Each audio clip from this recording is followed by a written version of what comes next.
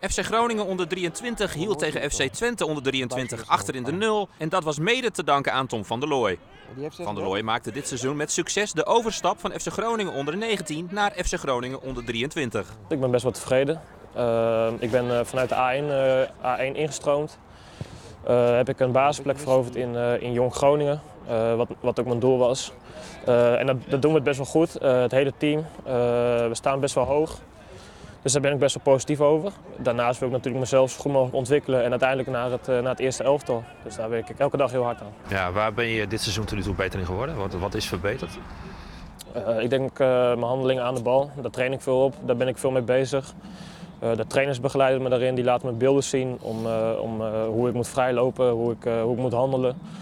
En ja, ik merk wel dat, dat, dat het beter gaat. De zoon van oud-FC Groningen trainer Erwin van der Looy stond afgelopen zaterdag op een voor hem wat ongebruikelijke positie.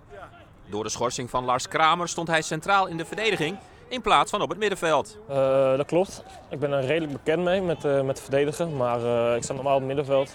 Maar door een schorsing moest, ik, moest ik naar achter. Ik sta waar ik moet staan. ik sta het liefst op het middenveld, dat geef ik eerlijk toe. Maar als, als de trainer en de ploeg mij nodig heeft achterin, dan, dan doe ik daar mijn uiterste best. Absoluut. Met hulp van deze Marijn Ploem hield Van der Looy zich prima staande als centrale verdediger. Ik had soms de neiging om als de bal voorin was ook naar voren te gaan, om aan te sluiten. En dan zei mijn uh, maatje achterin ook meteen van uh, achterblijven, je, bent, uh, je, staat, je staat achterin. Dus dat is een, een verschil. En ja, het, het, is, het is een ander risico. Kijk, als je achterin de bal verliest, dan, dan, is, dan is het een goal tegen. Op middenveld is dat wat anders. Dus, dus het is wel een best wel groot verschil, vind ik. Van der Looy maakt ook deel uit van de selectie van Oranje onder 19.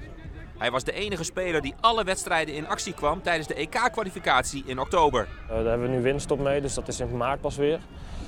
Maar daar leer je ongelooflijk veel. Daar speel je tegen jongens uh, die op een ongelooflijk hoog niveau spelen, die vaak al in het eerste team zitten. Dus daar leer je alleen maar van en dat is hartstikke leuk om, om mee te spelen.